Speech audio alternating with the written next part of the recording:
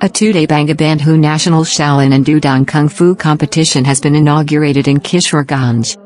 Kishoreganj Municipality Mayor Mohammad Parvez Mia inaugurated the competition in the conference room of a local park on Monday morning local time. Shaolin and Udang Kung Fu Association organized the competition in collaboration with Bangladesh Martial Arts Confederation. Competitors from a total of 16 districts took part in the game. The competition will end with the distribution of prizes on Tuesday afternoon. Bangladesh Desk. Bongshai News.